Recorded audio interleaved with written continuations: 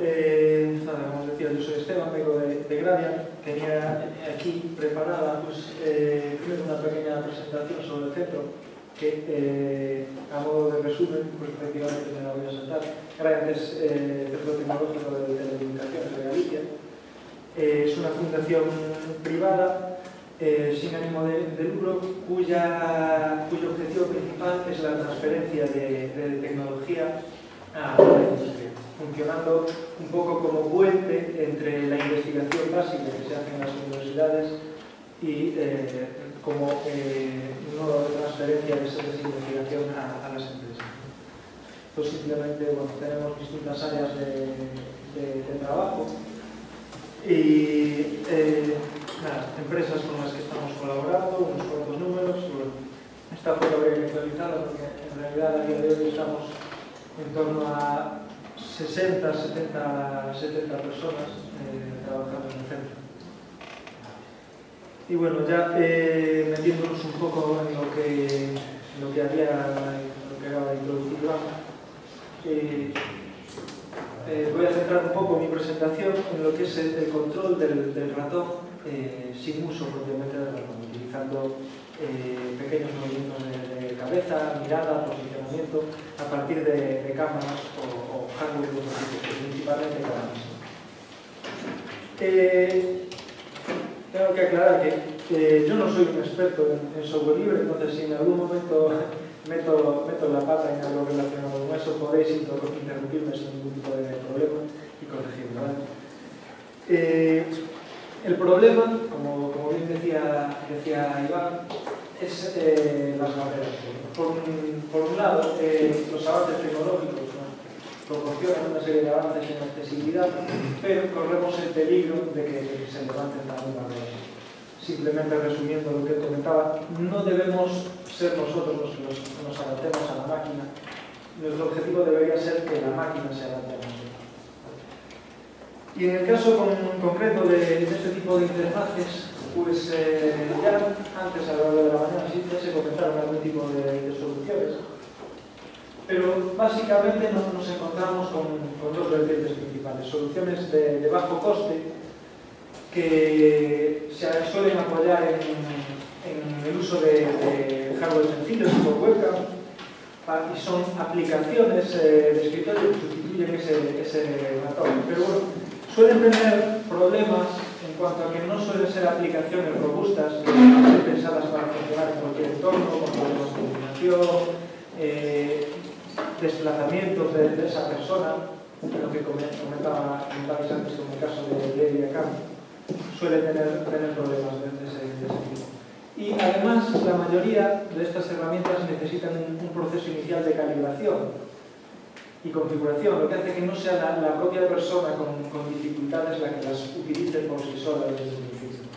Y luego hay otro tipo de soluciones de, de, de elevado coste que a veces pues, hacen uso de, de hardware específico que suele ser caro y además suele ser bastante, bastante incómodo, ¿no? Con cosas como, como los casos que vemos ahí para, para estimación de, de dirección de mirada, etc. Entonces, eh, los elementos clave en, un poco en, cómo enfocar esto se centran por un lado en conocimientos eh, que, nosotros hemos acumulado eh, de trabajar durante varios años en temas de reconocimiento facial, procesado, tracking de puntos, localización, estimación de post, etc. Y por otro lado, algo que es fundamental, que es la colaboración con, con, con los expertos en la materia. Estas fotos que veis aquí son de una serie de visitas que, hicimos el, año pasado eh, a distintos colegios de, educación especial con el objetivo de eh, llevarles, mostrarles eh, a chavales este tipo de herramientas, pues control de distintas herramientas para controlar el PC con una cámara, con otro tipo de hardware tipo Kinect, etcétera, herramientas de, audio. Y sí que nos ha dado muchas ideas de eh, qué era lo que estábamos haciendo. Eh, bastantes ideas a la hora de, mejorar eso. Nosotros íbamos con, con la idea de que estas herramientas eh, iban a funcionar de una forma y nos encontramos con, con otro tipo de problemas. Por tanto, es fundamental estar siempre al lado de los usuarios finales. Eh, ¿Qué herramientas tenemos? Bueno, en cuanto a hardware tenemos desde, desde las cámaras tradicionales, que pueden ser webcams de las, unhas globalizantes integradas en propio portátil ou cámaras sencillas de anticorte de os aí son cámaras de 20 de 25 euros non son nada, nada extraño non son convencional e tipo de sensores que están apareciendo como Kinect ou eh, dispositivos eh, similares que están saliendo al mercado de unas marcas eh, de Asus, etc que integran además de sensores de profundidad eh, micrófonos, etc que nos permiten trabajar con una interacción más natural. Y eh, por último momento aquí estas especie de cascos, diademas eh, de BCI, que son interfaces directamente eh, cerebro-máquina, que se basa en eh, procesar directamente los impulsos eléctricos que podemos captar eh, colocando, colocando esas diademas y a través de sistemas entrenados transmitir directamente esa, esas órdenes al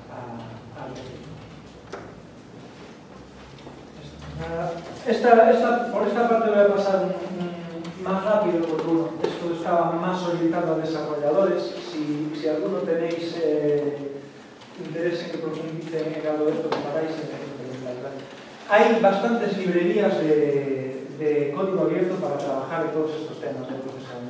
Este es muy conocida, que lleva bastantes años funcionando, con, con, con soporte para muchas plataformas, eh, tanto de escritorio como móvil, y, y interfaces para desarrollar distintos lenguajes.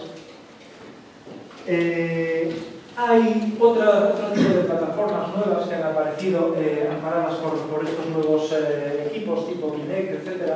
Esto, esta es otra que bueno, surge pues, hace año y medio y está eh, creciendo bastante, que pretende eh, promover la compatibilidad entre este tipo de aplicaciones y dispositivos que fomentan esta interacción más natural, tipo Connect, a su sesión, etc. Integra también pues lo que decía, temas de reconocimiento de voz, textos, etc. Orientados siempre más a desarrollo, desarrolladores de estas herramientas. Hay otro tipo de bibliotecas que también pueden ser interesantes, al final son, son bastante simples. Y eh, nos encontramos con distintas soluciones para esto. Estuve haciendo una búsqueda para encontrar un poco esto eh, esta semana. Y bueno, hay soluciones de todo tipo, desde soluciones como esta, que son soluciones de pago, no es software libre, que necesitan un hardware bastante, bastante costoso para seguimiento de tequila, para poder controlar el, el ordenador con eso, a soluciones que pasan por ser un poco más sencillas, como la que, las que comentabais antes. Eh, tanto esta, eh, cámara, cámara mouse, como el Head Mouse son soluciones de uso libre, son aplicaciones gratuitas, no son de código abierto. Las podéis descargar, las podéis probar en distintas plataformas, utilizar, pero no son de código abierto. Si yo me tengo que quedar con una de las dos, eh, me gusta más el funcionamiento de esta que, que el de la anterior. Eh, ambas vienen acompañadas de, distintas eh, herramientas mmm, complementarias, como teclados virtuales, como ese este que vemos aquí, herramientas para dibujar, etc. Y se basan simplemente en colocar la cámara, ponerse delante, calibrar, el, el, software y va a seguir. Pero cuenta con los problemas que, que comentabais vosotros antes. Si te desplazas, vuelves, muchas veces se pierde, tienes que estar en unas posiciones fijas, no funcionan determinadas funciones, tienen todavía bastantes problemas, hay trabajo por hacer. Y otra, que es la que comentabais, es un funcionamiento muy similar, esta sí que es el código abierto, se puede integrar en otras, en otras soluciones, el funcionamiento es muy, muy parecido. Hay otras iniciativas que en lugar de movimientos leves de, cabeza como esta luego, intentaré mostrar una demo, no sé si seré capaz en el proyector, esto como funciona es como pequeños movimientos de cabeza de este, de este estilo para mover. Hay otras herramientas que lo que pretenden es funcionar simplemente con eh, estimación de, de, dirección de mirada. Esta es otra, es de código abierto también, pero bueno, está en desarrollo y eh, todavía los resultados a mí no me parecen suficientemente precisos como para manejar eh, un, un entorno de escritorio normal. Más herramientas complementarias, desde el se bueno, hay distintas opciones. Y en el caso de, de Interact, eh, el objetivo que nos planteábamos de la entrada pues era un pouco dar solución a esos problemas que, que vimos en el uso de, habitual de estas herramientas, pues al final nos encontramos. Es que no suelen ser eh, demasiado robustas a condiciones de, no controladas, distinta posición, distinta distancia, problemas de iluminación, etcétera problemas de, de, inicialización, si cada vez que lanzas la herramienta necesitas eh, señalar una serie de puntos, situarte en una determinada zona, entrenar el sistema, dificulta que sea la, propia persona con, dificultades la, la que la utilice. Bueno, además que fueran dispositivos de bajo coste. Entonces, bueno, nada, hemos aplicado distintas técnicas para a ver si puedo, mientras os cuento, poner un, un pequeño vídeo.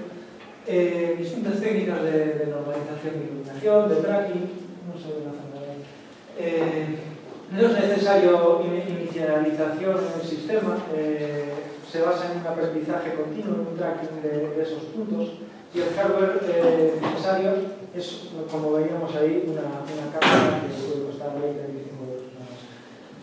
Y está, estamos todavía trabajando, trabajando en la optimización, pero bueno, en, principio el objetivo es que pueda funcionar en hardware con recursos limitados. Y eh, voy a intentar enseñaros ahora una, una pequeña demo de eso antes de, de pasar No sé si seré capaz de duplicar la, la pantalla ahí. Vamos a ver.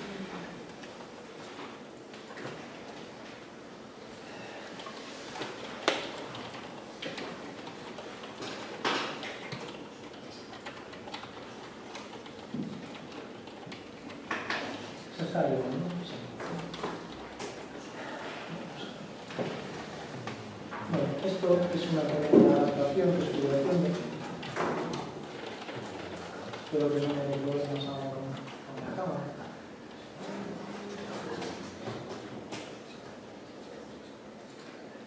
No sé si, si me veis ahí en la pantalla. En principio, sin ningún proceso de, de inicialización, yo estoy eh, siendo capaz de controlar el, el ratón con este tipo de, de movimientos sin, sin, necesidad de haber entrenado el sistema ni situar ningún punto, simplemente lanzaría la, la aplicación y podría, podría hacer esto. ¿vale? Luego al final si queréis eh, bueno, pues hacer, hacer alguna prueba, prueba de, de, este estilo, esto se puede configurar para funcionar a distintas distancias, yo ahora mismo lo tengo para, para, este, para este entorno, pero eh, entre los objetivos del de proyecto Interact es poder controlarlo a una distancia mucho mayor, pensando en que esto esté funcionando en un, televisor y tú estés pues, a una distancia de dos metros aproximadamente por ahí.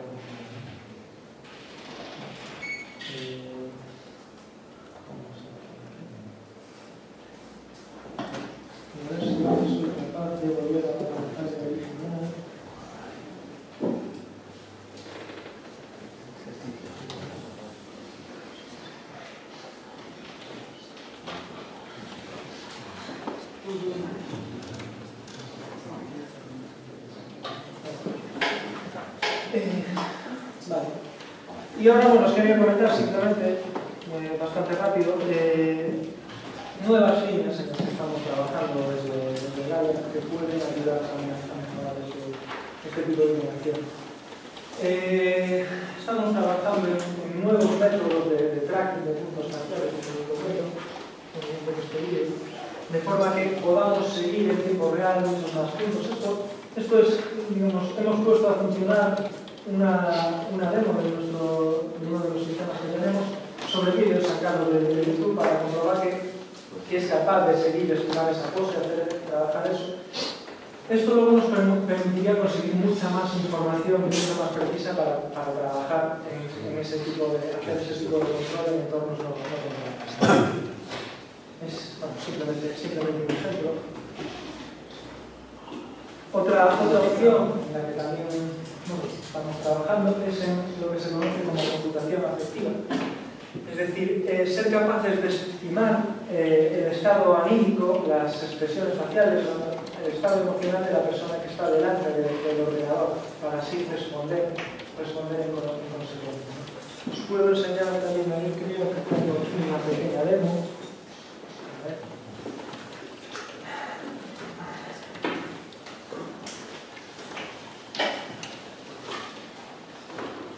ya no voy a cambiar la pantalla, eh, a puedo llevarla, llevarla ahí.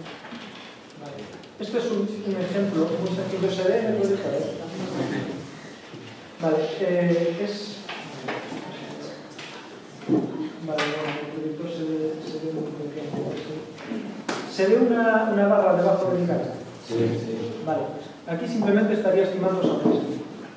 Si yo sonrío, esa barra subiría, si yo me pongo serio, esa barra bajaría. Es, es, una, es un ejemplo muy, muy sencillo. Pero eh, si esto lo combinamos con, con estimadores de otro tipo, con otro tipo de emociones, y combinamos todo esto, podríamos conseguir una respuesta eh, adecuada a esto. Vamos a ver si-